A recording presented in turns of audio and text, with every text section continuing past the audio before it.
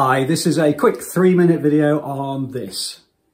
Hi, in this video we're going to be looking at one of the popular questions for the higher tier which is going to appear on Edexcel, AQA, OCR and Eduqas type papers. Uh, this particular one deals with a frustum. Please do stop the video, have a go at this particular question, compare your solution. So the first thing is, is that we've got two cones. Effectively we've got a small cone which has got a height of 6 centimeters and then we've got a much larger cone which has got a height of 18 centimeters. What we've done is taken one away from the other. But importantly if we're going to be using the volume of the cone formula which is right at the top of the screen there then we need to make sure that we've got all of the dimensions. We know that the base of the large cone is going to be 12 and also we know that the scale factor between 6 and 12 um, is 6 and 18 is going to be a multiplication of 3 so therefore we can work out the base of the smaller cone as 12 divided by 3 and that's going to be 4 so therefore the base of the small cone is going to be 4. And then really it's just a case of using the information we've got and applying it into the formula. So I'm going to move down on the screen, but please do take a screenshot, have a go at this question for yourself. Okay, so let's have a look at firstly the volume of the large cone. Okay, now I would always work out from the formula itself, which is handily given on the sheet as one third pi r squared h.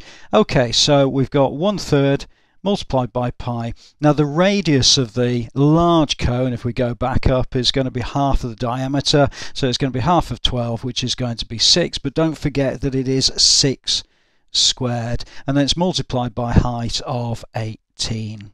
Okay, I'm going to put dots amongst that and it just means multiply. Okay, so when I work all of that out, I get 216 pi. Now you can, if you want, write it out as a full decimal, but it just takes an awful lot of time to do that. I suggest you don't because I think it's much easier to work with pi until we really need to make the calculation. So therefore, let's look at the volume of the small cone and we're going to again use exactly the same formula, which is one third pi r squared h. Okay, and the information I'm going to put in is one third multiplied by pi. Now, if you remember, we worked out the uh, diameter as 4, so we're going to be 2 squared as the radius, and the height is going to be 6. Okay, and when I work all of that out, what I'm going to get is 8 pi.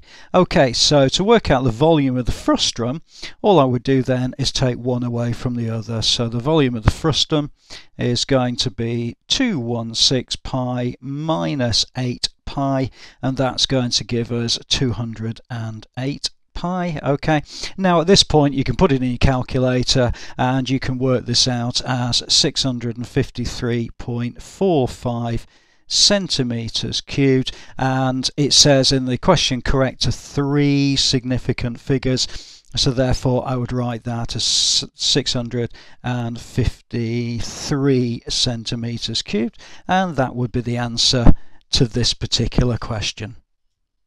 Okay, so I hope the video was useful. Please do add a comment below if you're not sure about anything. I'll always come back to you. Subscribe to the channel. I'll look forward to seeing you inside the next video.